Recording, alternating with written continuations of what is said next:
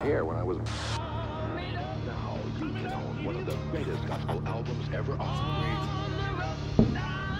with only giant hits. In Japan, the hand can be used like a knife. I'll be there in a second. But this method doesn't work with a tomato. That's why we use the ginsu. It's a knife that no kitchen should be without. The ginsu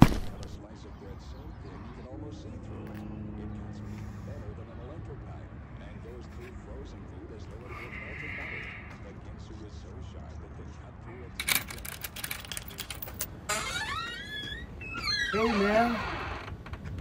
I, I know you tried to call me, but uh, I'm kind of short, man. About 50 short. I don't like short.